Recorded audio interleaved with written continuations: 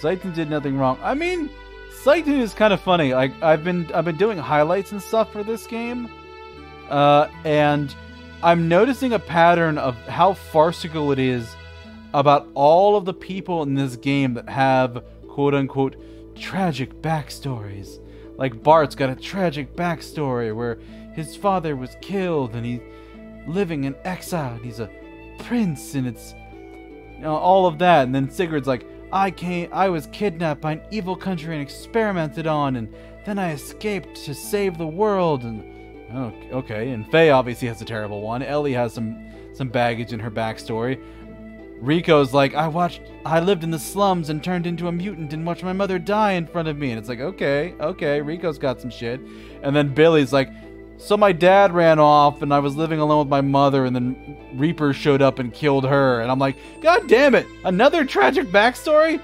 This is just farcical at this point. And I think Citan, I was just thinking about it this weekend. Citan is the only person in the game who does not have a tragic backstory. He like has some baggage in his history, but he's just like, no, I'm on a mission from the oldest person in the world to save the world from itself. So he really did nothing wrong, and he's he's actually on our side for most of the game. He's just sus as fuck.